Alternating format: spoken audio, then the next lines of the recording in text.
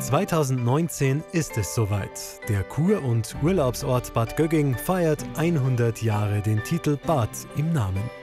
Gehen Sie mit auf eine Zeitreise.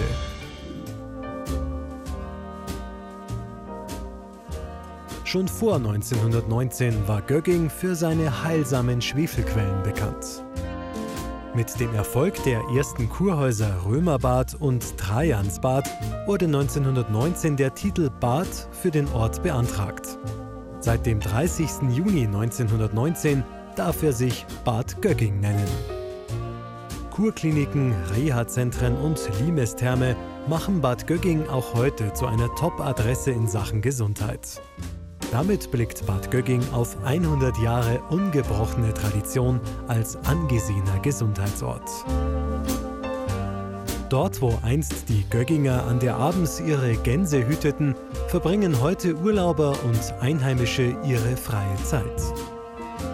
Mit Kurort-Flair, Wohlfühlunterkünften und Limestherme genießen Urlauber in Bad Gögging Erholungs- und Gesundheitsurlaub.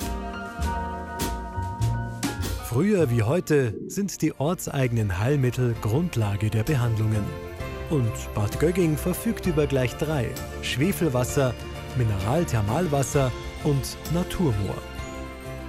Gehen auch Sie im Jubiläumsjahr 2019 auf eine Zeitreise und erleben Sie am Festwochenende und bei den verschiedenen Veranstaltungen rund um 100 Jahre Bad Gögging die Vergangenheit dieses geschichtsträchtigen Kurortes.